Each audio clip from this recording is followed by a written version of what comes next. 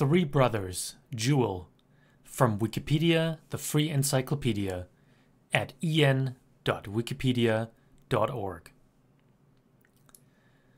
The Three Brothers, also known as the Three Brethren, German Drei Brüder, French Les Trois Frères, was a piece of jewelry created in the late 14th century, which consisted of three rectangular red spinels arranged around a central diamond. The jewel is known for having been owned by a number of important historical figures. After its commission by Duke John the Fearless of Burgundy, the jewel was part of the Burgundian crown jewels for almost 100 years before passing into the possession of German banker Jakob Fugger. The brothers were eventually sold to Edward VI and became part of the crown jewels of England from 1551 to 1643. They were worn prominently by Queen Elizabeth I and King James VI and I. In the early 1640s, Henrietta Maria, wife of Charles I, attempted to sell the jewel to raise funds for the English Civil War, but it is unclear if she succeeded. Its whereabouts after 1645 remain unknown. Description the three brothers remained essentially unchanged over more than 250 years. The jewel is known to have been reset at least once in 1623, but a variety of descriptions indicate that its original form and composition were retained over its entire lifespan. Originally made as a shoulder clasp or pendant, it consisted of three rectangular red spinels, then known as Balas rubies, of 70 carats each in a triangular arrangement, separated by three round white pearls of 10 to 12 carats each, with another 18 to 20 carats pearl suspended from the lowest spinel. The middle of the pendant was a deep blue diamond weighing about 30 carats in the shape of a pyramid, octahedron, or regular trisoctahedron. As there is little evidence for diamond cutting before 1400, it is likely the jeweler had merely squared off, described as carré on the original invoice, its natural form. When the brothers made their first appearance in an inventory, that of Duke Philip the Good of Burgundy in 1419, the jewel was described as, quote, a very fine and rich buckle adorned in the middle with a very big pointed diamond, and around this are three fine square balas stones called the Three Brothers, and three sizable fine pearls in between these. Under this buckle hangs a very large fine pearl in the shape of a pear. In 1587, the three brothers were listed among jewels delivered to Elizabethan courtier Mary Radcliffe and described as, quote, a fair flower of gold with three great balasses in the midst, a great pointed diamond, and three great pearls fixed within a fair pearl pendant, called the Brethren. Early history The jewel was commissioned by Duke John the Fearless of Burgundy in the late 1380s and was one of the most precious treasures of the House of Burgundy. It was created by Parisian goldsmith Hermann Roussel in 1389. A bill and receipt of the work can be found in the Côte d'Or Departmental Archives in Dijon. After receiving it in the 1390s, Duke John pawned the jewel in 1412, but redeemed it at some point before 1419. When the Duke, who was a major figure in the Armagnac Burgundian civil war over the French throne, was assassinated during a parley with the French Dauphin, the future King Charles VII, in 1419, the brothers were passed down to his son, Philip the Good. The jewel remained in Burgundy during Philip's reign and was inherited by his son, Charles the Bold, on his death in 1467. Charles commanded one of the most powerful armies of his time, and traveled to battles with an array of priceless artifacts as talismans, including carpets belonging to Alexander the Great, the bones of saints, the Sancy diamond, and the Three Brothers. In his conflict with the Old Swiss Confederacy during the Burgundian Wars, Charles suffered a catastrophic rout in March 1476 when he was attacked outside the village of Concise in the Battle of Granson. Forced to flee in haste, Charles left behind his artillery and an immense booty, including his silver bath, the ducal seal, and the brothers, all of which were looted from his tent by the Confederate army. The pendant was eventually sold to the magistrates of the city of Basel, who had the piece assessed by a Venetian expert. The city also commissioned a watercolor miniature of it, which provides the earliest visual record of the brothers, as of 2020 in the Basel Historical Museum.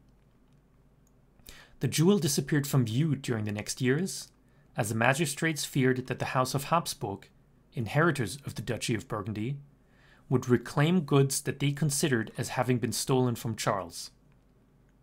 The jewel was at last put on the market in 1502, with two magistrates acting as straw men for the city to ensure plausible deniability. In 1504, Basel succeeded in selling the three brothers to Augsburg banker Jakob Fugger after a year of negotiations.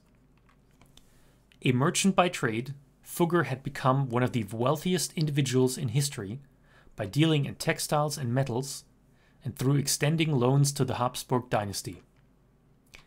The Basel sale included the brothers and three other pieces of jewelry from Charles's hoard the Federlin, Little Feather, the Gürtelin, Little Garter, and the White Rose, for a total price of 40,200 florins. At the time, enough to pay 3,300 common laborers for a year. While this constituted a significant expense, Fugger made many such transactions over the years, and the price pales in comparison to his total assets, which reached more than 2 million guilders at his death in 1525. For Fugger, jewelry and precious stones were a highly fungible capital reserve, and an investment to be sold at a profit to the right client. In fact, Fugger already had Emperor Maximilian I in mind as a buyer when he purchased the brothers, but the latter balked at the exorbitant asking price and bought everything but the pendant. The jewel stayed with the Fuggers for several decades. When Johann Jakob Fugger commissioned a history of the House of Habsburg in 1555, the three brothers were still described as a, quote, treasure known to all Christendom, quote, that the Fuggers had owned. However, Jakob Fugger's nephew Anton Fugger, who was now running the family business, had decided to liquidate part of the family's possessions by the 1540s. He first unsuccessfully offered the brothers to King Ferdinand I and Emperor Charles V, while a bid from the Ottoman Sultan Suleiman the Magnificent was refused because Anton did not want the jewel to fall into non Christian hands. When continental Christian kings could not be convinced to buy the jewel, the Fuggers turned to King Henry VIII, who had been conferred the title Defender of the Faith in 1521. As a Renaissance monarch, Henry was expected to live in grandeur, and the king consequently had a passion for jewels. Between 1529 and 1532, Henry spent almost £11,000 on jewellery, equivalent to around £7 million in 2019. As early as 1544, a letter from the Fugger office in Antwerp mentioned the imminent departure of an employee with jewels to be sold to Henry. However, negotiations dragged on until Henry died in 1547 and were only concluded in May 1551 under his successor, the 14 year old Edward VI. In his diary, the king wrote that he was actually forced to buy the jewel from Antony Fulker, Anton Fugger, for the princely sum of a hundred thousand crowns, because the monarchy owed the Fuggers Bank sixty thousand pounds, equivalent to around 21 million pounds in 2019. The transaction was recorded in an update to the inventory of Henry VIII of England, after which the brothers became part of the crown jewels of England. As an English crown jewel. Edward left the pendant with his Lord High Treasurer William Paulet for safekeeping on 7th of June 1551. In 1553, it was decided to gift the brothers to Edward's half sister Mary on the occasion of her wedding to Prince Philip of Spain in 1554.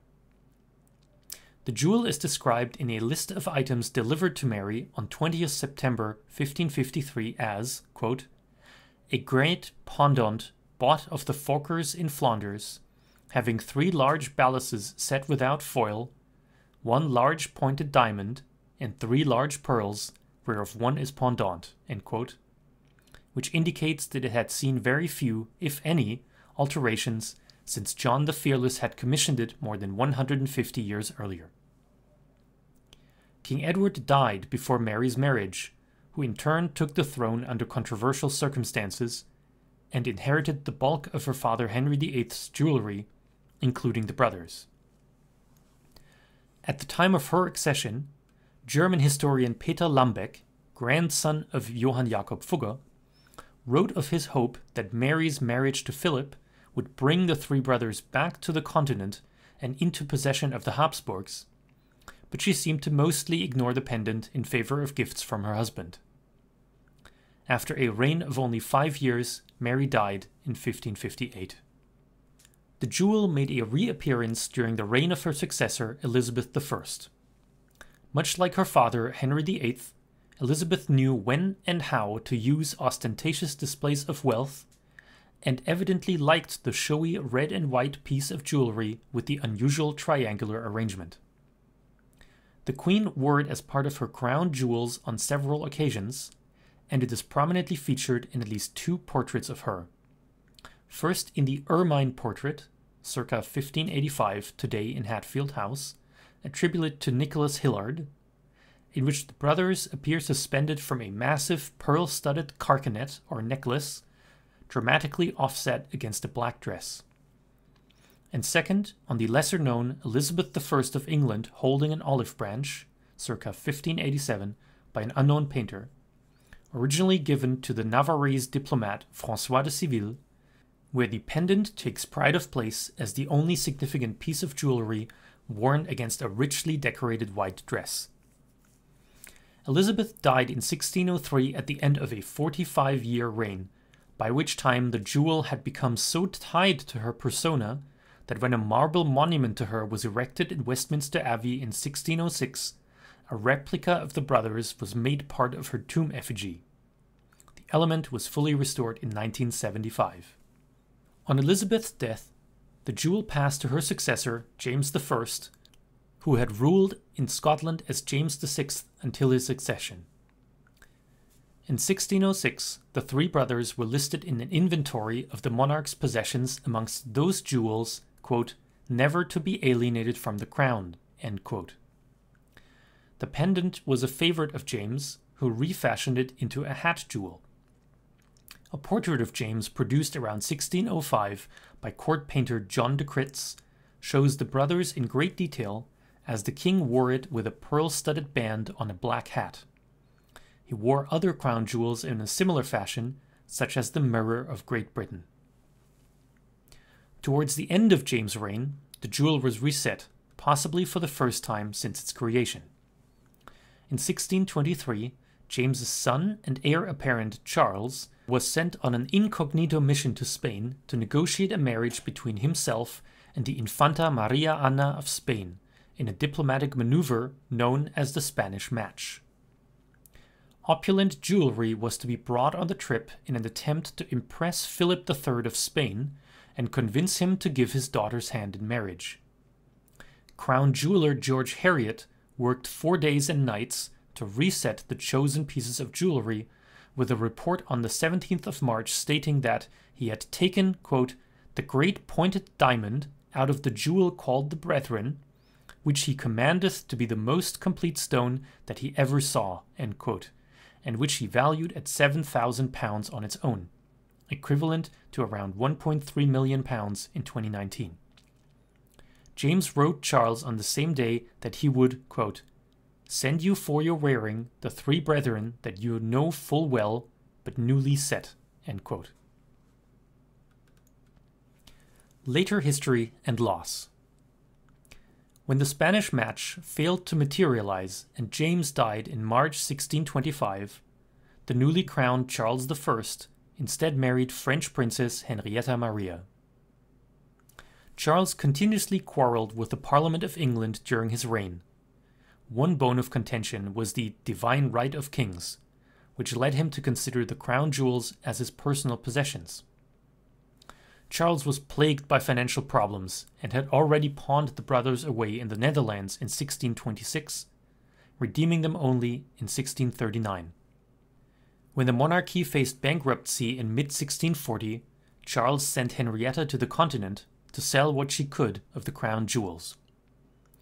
The Queen arrived in The Hague on 11th March 1642, despite the protestations of Parliament that she had taken with her, quote, treasure in jewels, plate, and ready money, quote, that was likely to, quote, impoverish the state, quote, and be used to foment unrest in Britain.